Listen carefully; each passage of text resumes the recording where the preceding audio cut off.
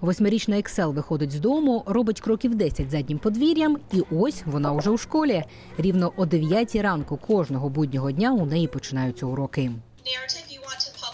Особиста школа у дівчинки з'явилась місяць тому. До цього вона вчилась онлайн на кухні поруч із батьками, які через пандемію також працюють з дому. Такий формат навчання був для Ексел складним. У неї аутизм та проблеми із концентрацією.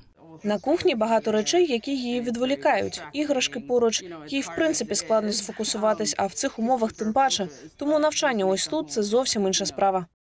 Спочатку Мак та Іксі хотіли купити готову конструкцію сараю та переробити його на школу.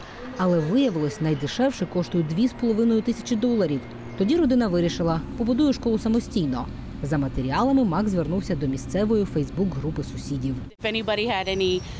Він спитав, чи є в когось непотрібні дошки, балки чи якась фарба. Мак каже, розраховував отримати хоча б щось для початку будівництва, а сусіди зібрали майже усі необхідні матеріали. Фундамент я зробив із шлакоблоків та цегли. Їх дали сусіди, так само як і дерево для підлоги. Матеріали для стін ми взагалі знайшли на смітнику. Хтось побачив та порадив мені забрати. Вікна Мак спеціально поставив високо, аби дівчинку ніщо не відволікало від навчання.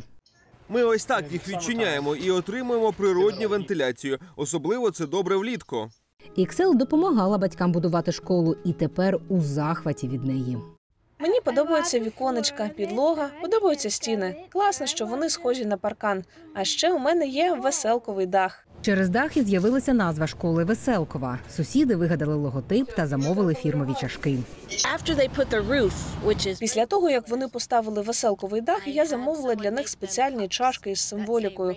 Для батьків написала персонал веселкової школи. Для дівчинки учениця веселкової школи. Для Ексел шкільні дні тепер проходять майже так само, як і до карантину. Ось тільки за однокласниками сумує. Вона ходить до веселкової школи так само, як колись у свою звичайну. Прокидається зранку, одягається, зустрічається з усіма онлайн. Єдина різниця поруч немає однокласників. А так ми навіть обід їй готуємо із собою. У неї є перерви, тобто той самий розклад, що дуже добре на неї впливає. Мак каже, не розраховував на таку допомогу від громади. А для сусідів крихітна школа стала головною цікавинкою району. кажуть, одна маленька дівчинка згуртувала мешканців декількох кварталів, і вони знову готові допомогти, коли веселкову школу треба буде готувати до зими. Зараз вона розрахована тільки на теплу погоду. Леся Бакалець, Андрій Дегтярьов, Олексій Осика, Голос Америки.